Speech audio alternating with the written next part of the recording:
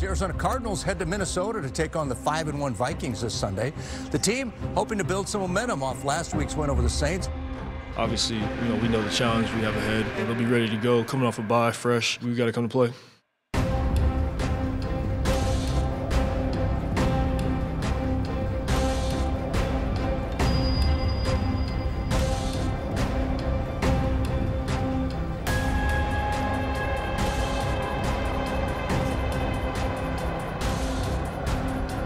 The end zone. Hopkins is there. Touchdown. Launches it deep. Wide open touchdown. Kyler Murray, you are ridiculous. Nasty is as nasty does.